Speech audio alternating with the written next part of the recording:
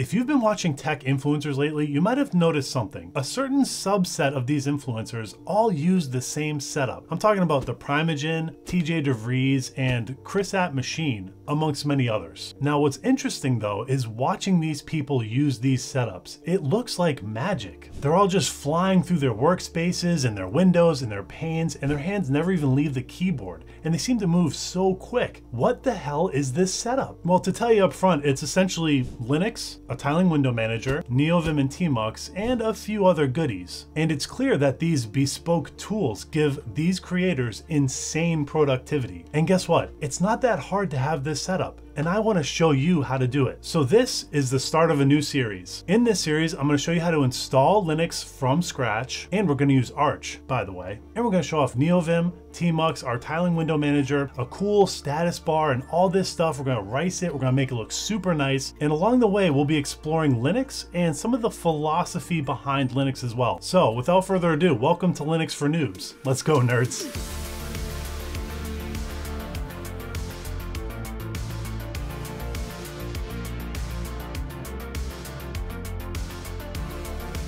Now, we aren't going to be installing Linux in this episode just yet. This episode is more about just showing you these amazing tools, how they work together, so that we can all get all jazzed up about tiling window managers, Linux, the customizability of it all, and shucks, even NeoVim and Tmux. I'm gonna show you the amazing productivity boosts you can get with this setup. And then in later episodes, we're actually gonna get into the nitty gritty of installing Linux, installing and configuring a tiling window manager, choosing a terminal, choosing a status bar, all that great stuff. This is gonna be an amazing course and I cannot wait to get into it. But first, let's talk about our Linux distribution. Now, believe it or not, I don't think the actual distribution of Linux is all that interesting in this setup. You can use anything you like, any mainstream mainstream distribution of Linux and get the same results. But for me, personally, I like Arch Linux. And let me tell you a few reasons why. Number one is the rolling release model. Essentially, the rolling release model allows you to update all of your packages to the latest security updates and the latest patches that keep everything on your machine at the latest and greatest. Now, some other distributions like Ubuntu, Red Hat, have package managers that point to repositories that don't get updated that frequently, mostly because they want a long-term sort of structure so that things don't break. But the rolling release model is amazing because you can keep everything nice and up to date. Do you remember that XZ exploit that was found recently? In Arch, in the rolling release model, you can update really quickly and easily to the latest security patch of the software that was vulnerable. Now to update all my packages, it's actually pretty simple. You can type something like pacman dash SYU, and that will sync all of our repositories, update everything, and then every package on our system is going to be up to date. And it's just that simple, yes. So now every package on my machine is at the latest and greatest patched version. No more security vulnerabilities, no more exploits, it's now at the latest and greatest. It's pretty cool. And another reason to love Arch is the minimalist approach. Arch doesn't even ship with a display manager. There's no GUIs. When you install Arch, you're dropped into the terminal, and then you can choose what GUI and what display manager you want. And that's great for us because we're not just choosing some random display manager, we're choosing a tiling window manager. And so that minimalism really helps us out. Now, a third reason to love Arch is the great community. The Arch user repository, the AUR, has amazing packages and it's very well documented. It's all really well set up and it just feels very professional and it feels like a nice, stable, solid community. The Arch community really is great. And the last reason I love Arch so much is because I can say I use Arch by the way, and that means a lot, especially on the internet. Now, there's one downside to Arch, and that's always been the case, is that the installation can be a little bit difficult. Arch is actually kind of notorious for this. However, it's not that difficult anymore, and in the next episode, I will show you why. It's really not that bad. So now let's talk a little bit about the tiling window manager. So what exactly is a tiling window manager? Well, to explain this, let's go over a little bit about like the general Linux stack. Let's see what that looks like. Now, I don't know if you've noticed, but in the past for diagramming we've been using this company called Eraser.io, and they've actually been partnering up with us. And they showed off some new features to us that I think are really cool. It's basically AI driven diagramming, which I think is kind of awesome. So let's check this out. Essentially, we can type in plain language what we want to put in our diagram. So let me just talk about the Linux system in general. So we want to generate a diagram. That shows the main parts of the Linux system organization. There are three parts. One is the hardware. Two is the Linux kernel.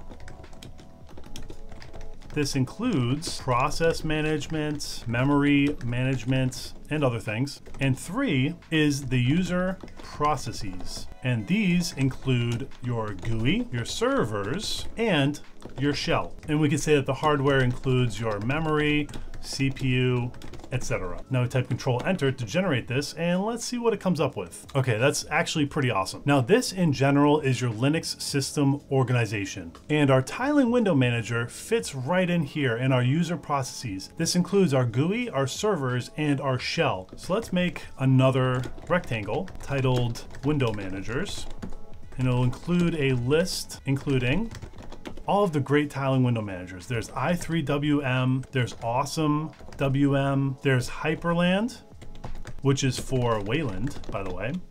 There's Sway, which is basically i3 for Wayland. And don't worry, we'll go over what Wayland is in the next episode. We're just showing off how these things are set up. So let's generate that. So now this diagram kind of lays out what we're looking at here. We have our GUI, our servers, and our shell under our user processes. And within the user processes, that's where we put our tiling window manager. That's where this gets installed in the Linux stack, so to speak. And we have a lot of window managers to choose from. There's i3WM, there's Awesome WM, there's Hyprland, there's Sway. There's a lot of interesting stuff here. My favorite is i3WM. It's a little bit antiquated, but it's stable and it works really well. And it's also very configurable. And the fact that it's a little bit older means that there's a lot of packages that support i3WM. Again, we're gonna go over this in the future in another episode. We're gonna show off how to install it, how to configure it, all that great stuff. But honestly, you wouldn't go wrong with any of these choices. These are all really great. Now, of course, there's another piece to this that we haven't really talked about, and that is Uh, the general like display managers, right? These include include GNOME, KDE,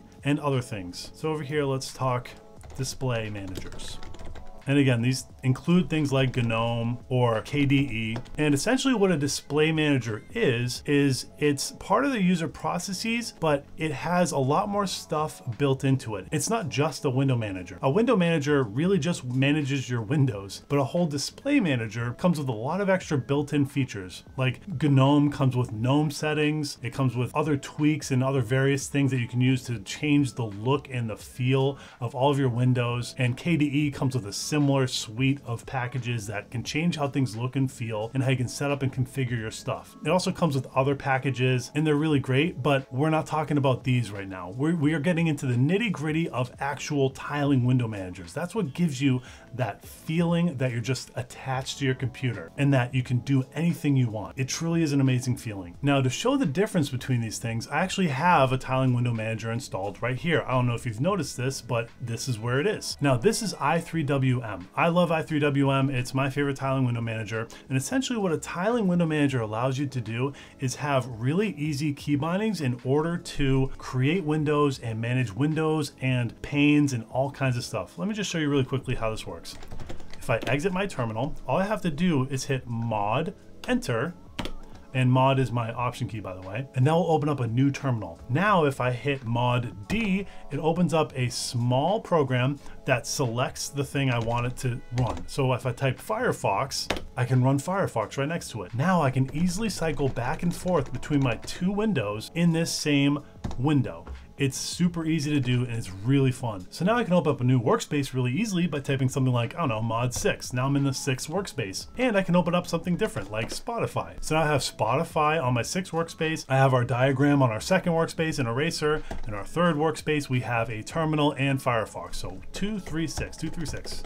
It's super easy to go in between all of these windows. It takes no time at all. So I feel like I'm connected to my computer and I'm just like in there, but it truly is amazing. And now this is the same computer, the same Linux distribution running GNOME. GNOME is a great display management environment. It has a lot of great defaults and the windows look really great, but this is a stacked window management kind of setup where you have to drag and drop all your windows where you want them to be. Now GNOME is really nice, but it just doesn't give you that kind of flexibility and freedom a tiling window manager gives you. And that's why I love tiling window managers. So I'm excited to have you join me on this course to show off all of these tools, how to install all of them, how to configure them, so you can get the insane product productivity boosts that a lot of other creators are showing off. So be sure to subscribe and follow along. And hey, thanks, nerds.